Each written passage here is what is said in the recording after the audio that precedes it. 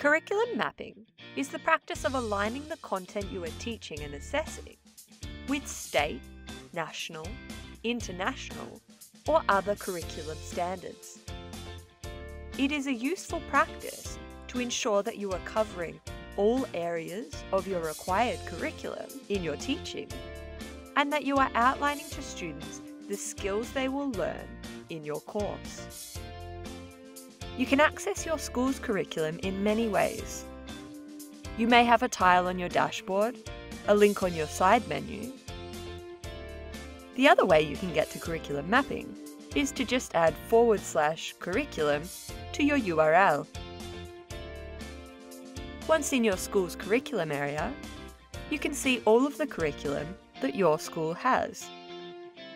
The curriculum mapping feature in Schoolbox allows you to import pre-existing curriculum, for example, the Australian curriculum,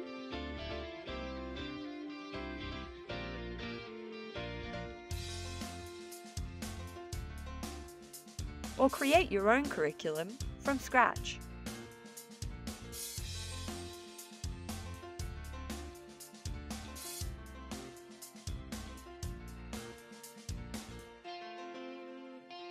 Curriculum can be added to or edited at any time to suit the needs of your school.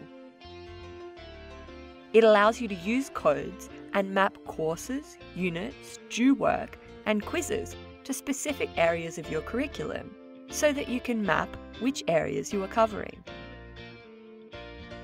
You can display these codes on pages using our curriculum mapping components.